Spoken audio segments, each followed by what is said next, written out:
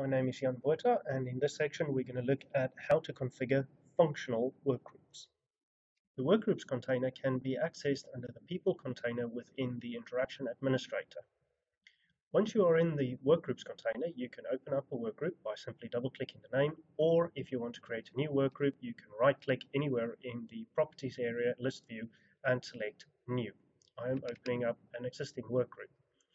For functional workgroups, you can assign an extension number to the workgroup. It does not have to be part of the DID plan, but assigning an extension number will assist if you want to do consultative transfers to the workgroup.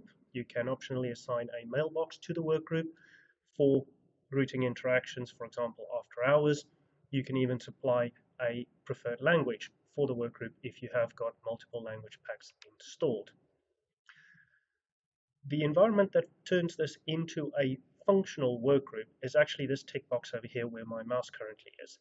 If you have this box ticked where it states workgroup has a queue, effectively you are turning the workgroup's capability of taking interactions on.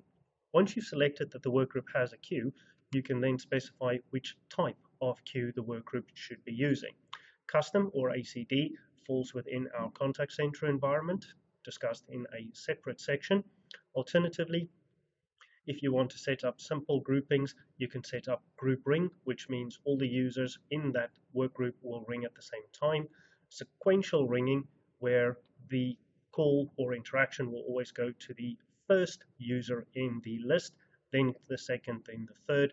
Every new interaction will always try to go to the first user in the list, or round robin, which means every new interaction coming in will basically be routed to the next one on the list, bottoming out at the bottom and then starting from the top again. Once you have decided what type of workgroup you are going to be using in this functional environment, you can then select to record all calls and whether the workgroup spans sites in a networked environment.